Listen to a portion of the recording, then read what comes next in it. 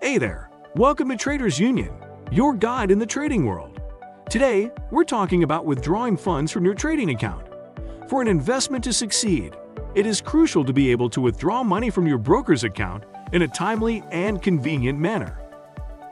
In this video, we are going to show you how to withdraw funds through Multibank. Let's get started.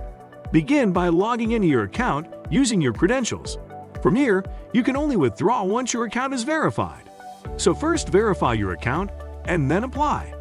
After landing on your homepage, click Funds at the left side of the page. In the drop-down menu, click on the Withdrawals button. Here's an important note for you. You can't send a withdrawal request until your account verification is complete. After verifying your account, I can guide you on how to submit your request. First, choose your withdrawal type. Select the trading account and enter the amount. Fill in the required details and enter the email OPT. After that, look for the Withdraw button.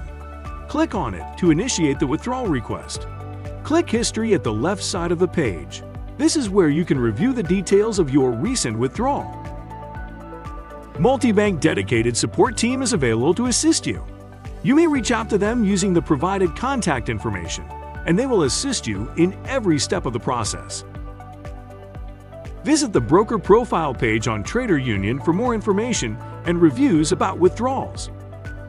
It's more reliable and beneficial to work with any broker through the Traders Union. For any queries, our support team is here for you at support at tradersunion.com. Hope you found this video helpful, and I look forward to seeing you in the next one. Happy trading!